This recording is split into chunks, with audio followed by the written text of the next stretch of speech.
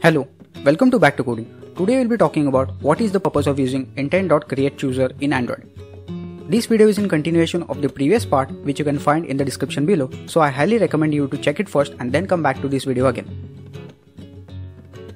You might have seen that if there's more than one activity on your device that's capable of receiving your intent, Android automatically asks you to choose which activity you want to use. It even asks you whether you want to use this activity all the time or just on this occasion. There's just one problem with this default behavior. What if you want to guarantee that users can choose an activity every time they click on the button?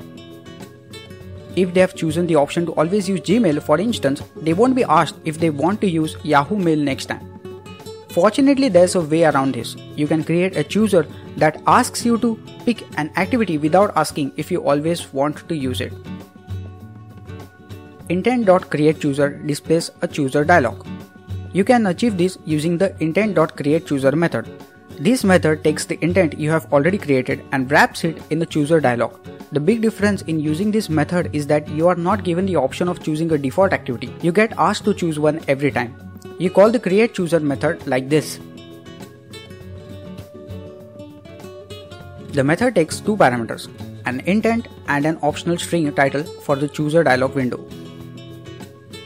The intent parameter needs to describe the types of activity you want the chooser to display.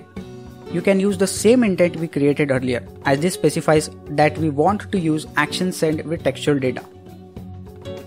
The create chooser method returns a brand new intent. This is a new explicit intent that's targeted at the activity chosen by the user. It includes any extra information supplied by the original intent, including any text. To start the activity the user chose, you need to call start activity chosen intent. Now let's see what happens when you call create chooser. When you run the following two lines of code, the create chooser method gets called. The method includes an intent that specifies the action and MIME type that's required.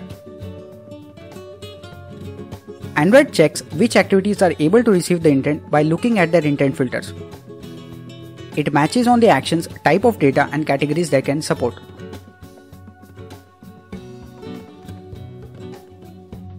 If more than activity is able to receive the intent, Android displays an activity chooser dialog and asks the user which one to use. This time, it doesn't give the user the option of always using a particular activity and it displays send a message in the title.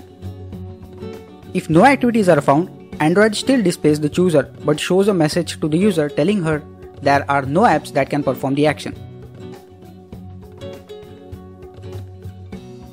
When the user chooses which activity he or she wants to use, Android returns a new explicit intent describing the chosen activity.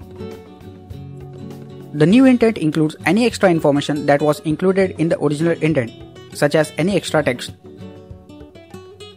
The activity asks Android to start the activity specified in the intent. Android asks the activity specified by the intent to start and then passes it to the intent. If you have no matching activities, if you have no activities on your device that are capable of sending messages, the create chooser method lets you know by displaying a message. This behavior is another benefit to using the create chooser method. The create chooser method is able to deal with situations where no activities can perform a particular action.